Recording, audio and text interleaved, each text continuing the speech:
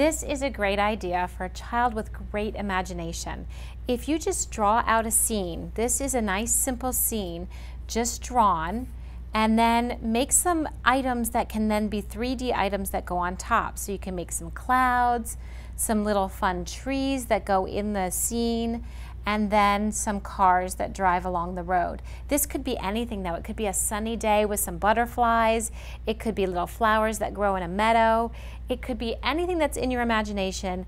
And then you can make up a whole story about what happens in the scene using your perler beads as fun little 3D accents within the scene that you have.